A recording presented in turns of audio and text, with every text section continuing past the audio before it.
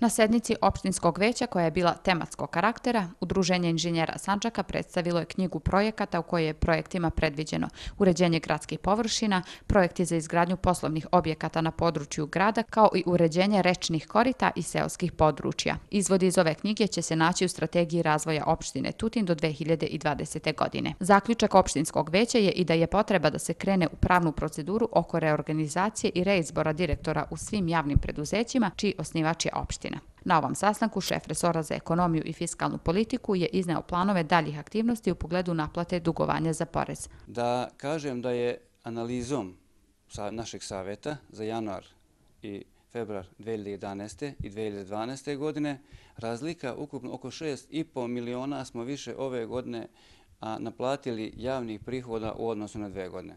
Strategija razvoja opštine Tutin do 2020. godine biće prezentovana široj dijaspori već kraj marta ove godine, gde će projekti koji se nađu u tom dokumentu biti oslonac za dalji razvoj ove sandačke opštine. Što se tiče izveštaja za koje smo podnosili u okviru projekata, mi smo spremni sa projektnom dokumentacijom, već smo konkurisali na nekoliko mesta za neka sredstva. E, mislimo i dobijamo sve, e, svakom našom posjetom u Beogradu, dobijamo sve više i više garancije da će to tako i da bude i da, da će ovaj, e, ti projekti koji su veoma važni za opštinu Tutin, odnosno za grad Tutin, i da se realizuju u ovom letnjem periodu.